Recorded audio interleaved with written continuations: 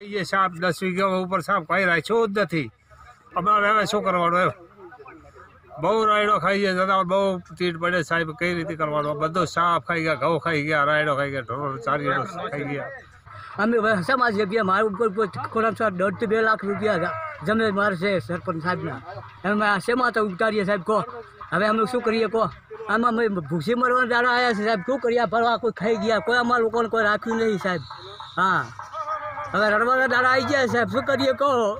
ગઈ રાત્રે શેરા અને જાડી ગામની સીમમાં અહીંયા મોટા પ્રમાણમાં તીડ રોકાયા હતા અને તીડોએ સવારે જે ખેડૂતોના પાકમાં પડી અને ભારે નુકસાન કર્યું છે, રાયડો ખાઈ ગયા છે અને સાથે સાથે જીરું, એરંડા અને જે બીજા પાકો છે, શિયાળુ પાકો, એમાં પણ મોટા પ્રમાણમાં નુકસાન કર્યું છે. તો આ બાબતે સરકારશ્રી દ્વારા તાત્કાલિક સર્વે કરાવે અને જેને નુકસાન થયું છે તેને તાત્કાલિક ધોરણે સહાય આપે તેવી અમારી રજૂઆત છે ખેડૂતોની.